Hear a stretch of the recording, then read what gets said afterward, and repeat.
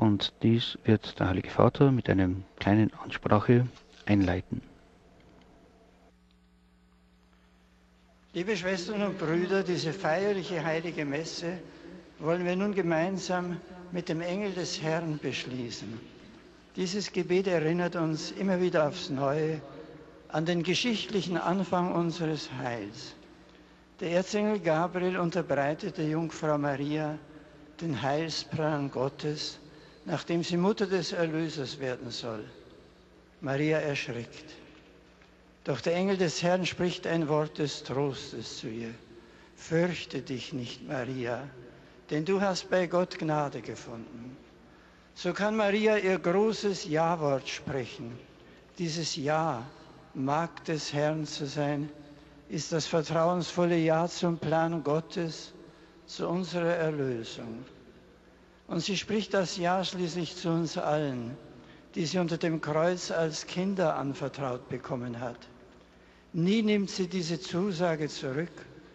Und deshalb ist sie selig, ja glückselig zu preisen, denn sie hat geglaubt, dass sich an ihr erfüllen wird, was der Herr ihr gesagt hat. Wenn wir nun diesen Engelsgruß beten, dürfen wir uns mit dem Ja-Wort Marias verbinden, voller Vertrauen einstimmen in die Schönheit des Planes Gottes und der Vorsehung, die er uns in seiner Huld zugedacht hat. Dann wird die Liebe Gottes auch in unserem Leben sozusagen Fleisch werden, immer mehr Gestalt annehmen. In allen Sorgen brauchen wir keine Angst zu haben. Gott ist gut. Zugleich dürfen wir uns getragen wissen von der Gemeinschaft der vielen Gläubigen, die jetzt in dieser Stunde auf der ganzen Welt mit uns zusammen über Fernsehen und Rundfunk den Engel des Herrn beten. Der Engel des Herrn brachte Maria die Botschaft. Gegrüßet seist du, Maria, voll der Gnade. Der Herr ist mit dir, du bist gebenedeit unter den Frauen und gebenedeit ist die Frucht deines Leibes, Jesus.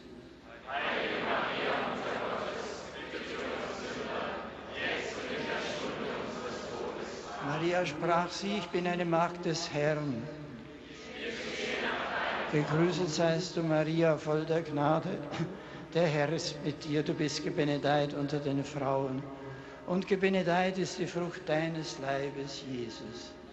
Heilige Maria, Mutter Gottes, bitte für uns Sünder, jetzt und in der Stunde unseres Todes. Und das Wort ist Fleisch geworden.